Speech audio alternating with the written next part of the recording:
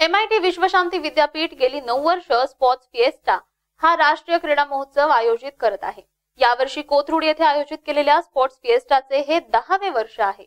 या क्रीडा महोत्सवात football cricket table tennis badminton आणि बास्केटबॉल या खेळांचा समावेश असून सुमारे साठ ते सत्तर संघ यामध्ये सहभागी झाले आहेत. या महोत्सवाचे उद्घाटन माजी क्रिकेटपटू आणि एच के बाउन्स अकॅडमीचे हेमंत किणीकर यांनी काल केले. या महोत्सवाचे वैशिष्ट्य म्हणजे या महोत्सवाच्या आयोजनात संघाच्या आमंत्रणापासून ते प्रायोजक मेळाव्यापर्यंत सर्व प्रक्रियेमध्ये विद्यार्थ्यांचा सहभाग असतो.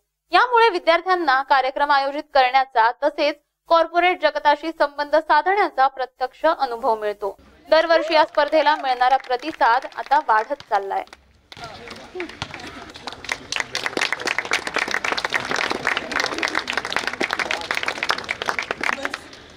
And um, as all of you are already aware that uh, MIT, which was a college affiliated to the Savitribai Phule Pune University since the last two years, we are now a private university and uh, uh, it is our good fortune that our executive president Mr. Rahul Karad has always encouraged us to develop a culture of sports on campus to the extent that we have now started an MBA with sports management as the specialization. So I would like to welcome our Director for Sports Management Programs at MIT.